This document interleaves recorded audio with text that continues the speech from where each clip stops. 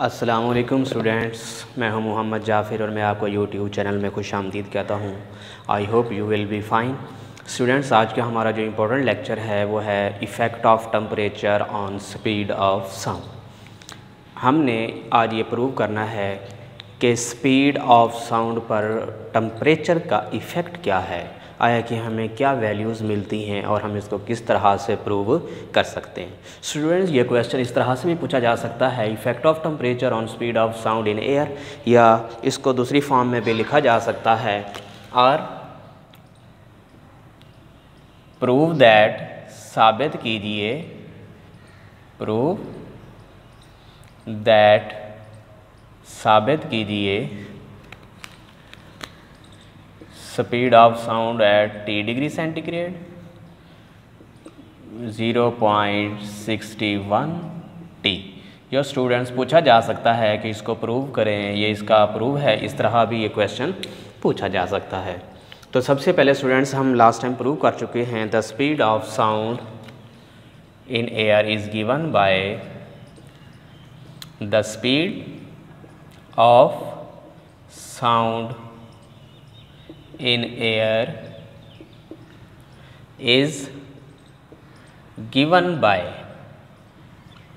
ये formula students हम last time prove कर चुके हैं। ये फार्मूला है, v is equals to gamma P over rho under root इसे मैं इक्वेशन नंबर वन का नेम दे रहा हूँ स्टूडेंट्स देखें, हम लास्ट टाइम स्टडी कर चुके हैं कि हमारे पास जो टम्परेचर है ये इन्वर्सली प्रोपोर्शनल होता है डेंसिटी ऑफ़ एयर के।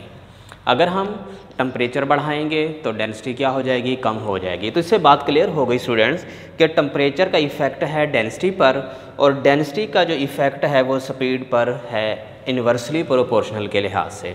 इसका मतलब है, अगर डेंसिटी कम होगी तो स्पीड क्या हो जाएगी? ज़्यादा होगी। तो इससे बात क्लियर हो गई कि टेम्परेचर का भी इफ़ेक्ट होगा किस पर? डेंसिटी पर और डेंसिटी का इफ़ेक्ट हो रहा है किस पर? स्पीड पर। तो यूँ भी कह सकते हैं कि टम्परेचर के बढ़ाने से डेंसिटी क्या होगी? कम होगी, बदले में स्पीड क्या हो जाएगी? ज़्यादा। तो इससे एक बात ये भी क्लियर हो गई कि जो स्पीड ऑफ़ साउंड है, इस पर टम्परेचर का इफ़ेक्ट है, जिसकी वजह से स्पीड ऑफ़ साउंड या तो कम होती है या ज़्यादा होती है। तो हम स्टूडेंट्स सपोज़ कर लेते हैं मैंने सपोज़ कर लिया, या तो टेम्परेचर मैक्सिमम होगा या क्या होगा? मिनिमम होगा।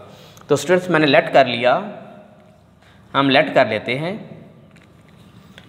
Speed of sound speed of sound at zero degree centigrade यानी कि कम अज़ कम हम टेम्परेचर क्या ले रहे हैं? ज़ीरो डिग्री सेंटीग्रेड और यहाँ पर स्पीड क्या होगी?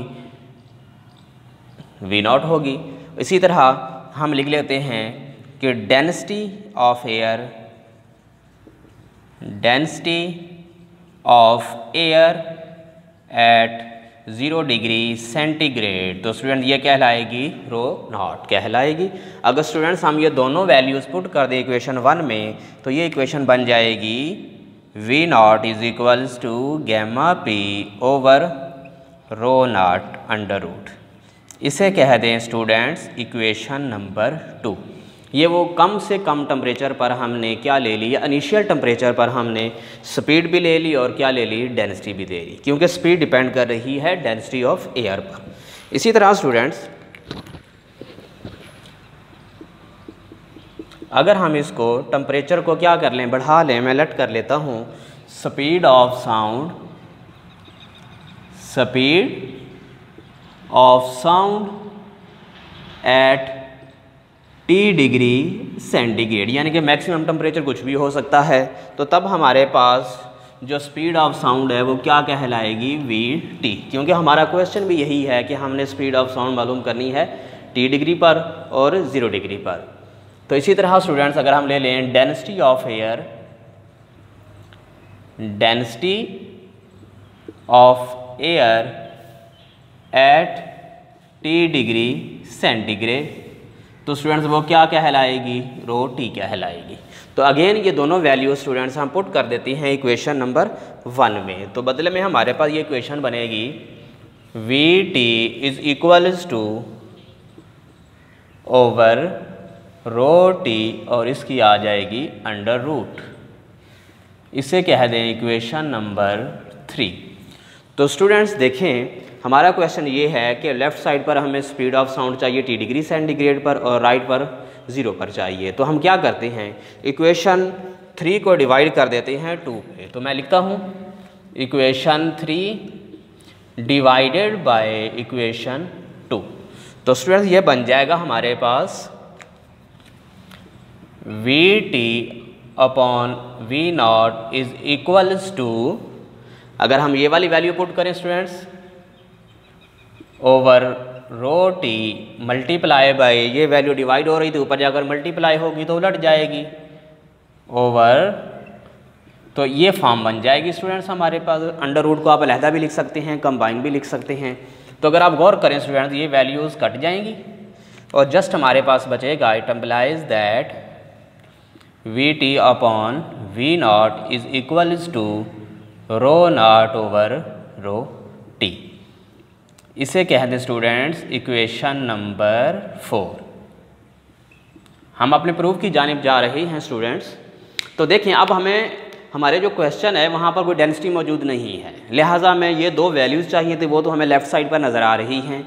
लिहाजा इधर हमें कोई अंडर रूट में कोई वैल्यू नहीं मिल रही. तो लिहाजा हमें सबसे पहले अब रो नाट और रो टी की यानी कि वैल्यू मालूम करनी है.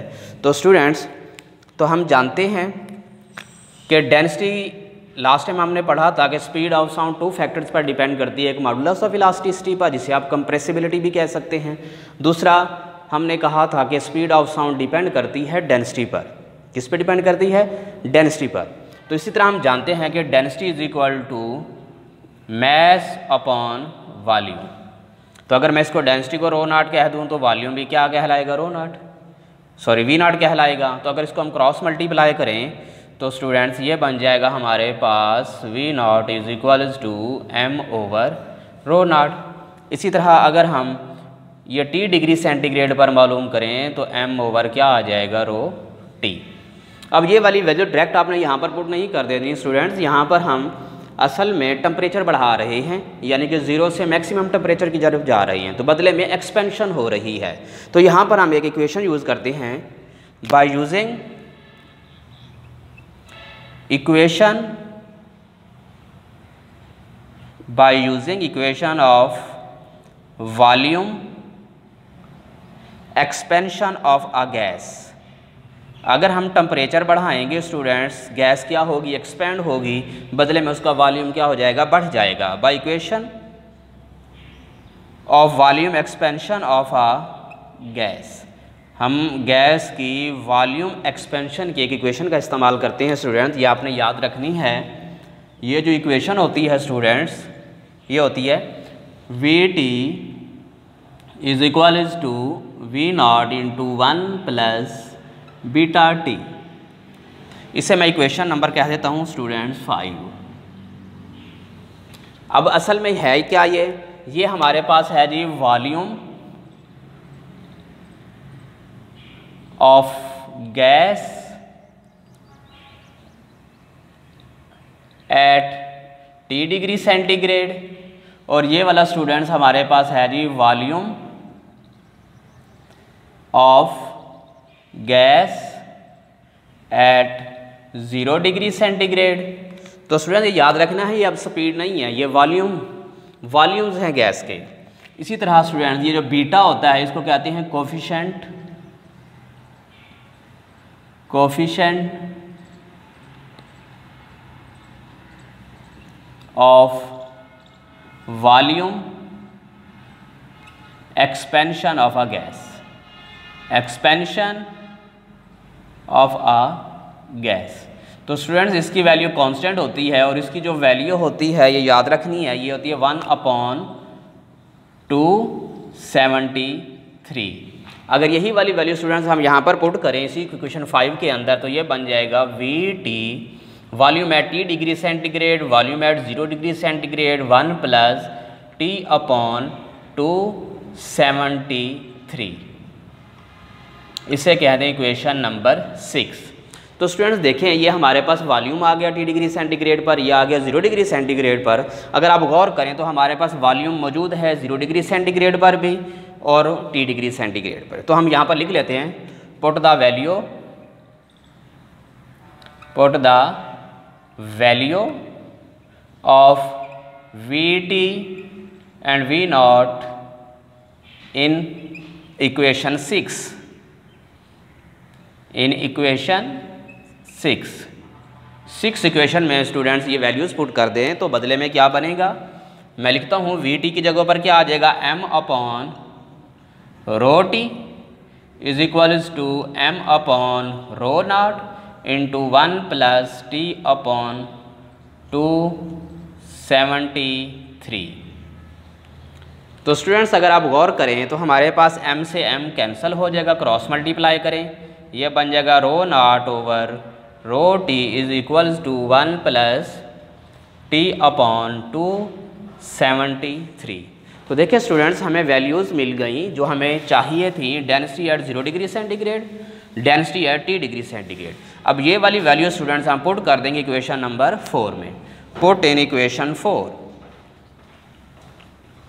put in equation four I think आपको बात समझ आ जाएगी. यहाँ पर वैल्यू स्टूडेंट्स अगर हम पुट करेंगे तो बदले में जो हमें वैल्यू मिलेगी तो देखें स्टूडेंट्स अगर हम इस इक्वेशन में पुट करें तो ये बन जाएगा v t upon v naught is equal to under root one plus t upon two seventy three अगर आप स्टूडेंट्स का एलसीएम ले लें तो ये बन जाएगा हमारे पास टू सेवेंटी थ्री इधर आएगा two seventy three plus t इसका मतलब है टू सेवेंटी में कुछ ऐड हो रहा है टेम्परेचर मैक्सिमम की जानब जा रहा है, ये क्या है? मिनिमम तो हम इसको यूँ भी राइट कर सकते हैं t upon t o t naught sorry तो हम लिख सकते हैं इसको इस फॉर्म में भी, लेकिन हमें यूज़ इसको करना है। अगेन मैं इसका इस्तेमाल कर रहा हूँ स्टूडेंट क्योंकि हमने ये वाला प्रूव करना है जो आपको नज़र आ रहा है।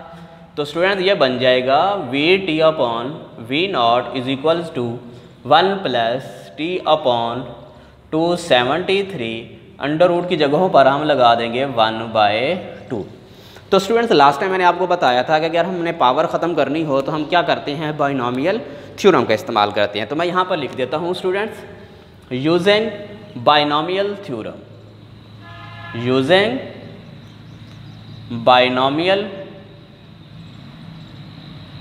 theorem हम बाइनोमियल थ्योरम का क्या करेंगे? आप इस्तेमाल करते हैं। और आप ऑलरेडी पढ़ चुके हैं।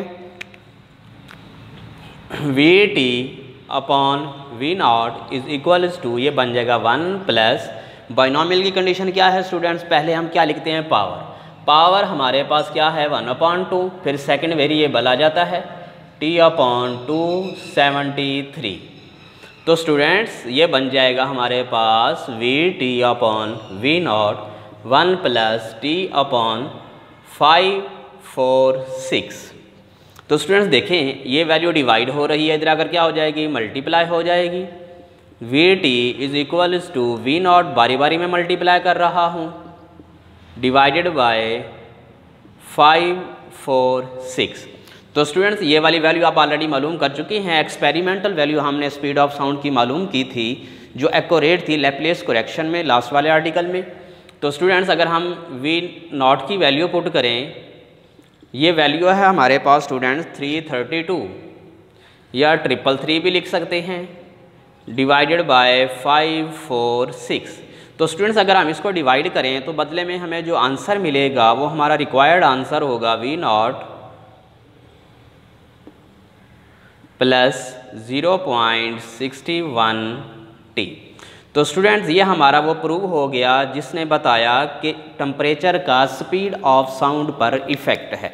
तो स्टूडेंट ये देखें, यही हमारा क्वेश्चन था, वो हमने क्या कर लिया प्रूव कर लिया। स्टूडेंट्स अगर आपको कोई बात समझ नहीं आई तो आप कमेंट बॉक्स में जाकर कमेंट कर सकते हैं और हम इन आपको इसका आंसर ज़रूर देंगे।